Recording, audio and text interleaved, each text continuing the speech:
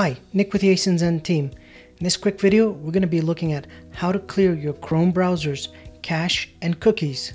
This is helpful for when you're having issues with a Chrome browser and need to clear all the cache data that's in the browser.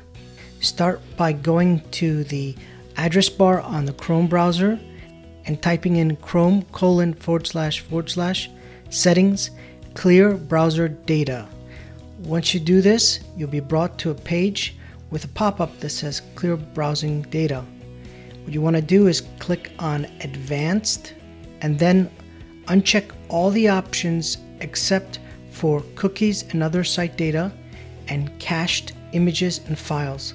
Then click the blue button on the bottom that says clear data.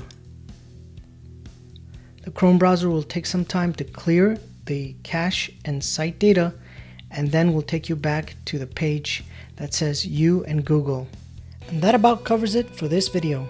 If you have any questions, reach out to a customer champion at support.asinzen.com.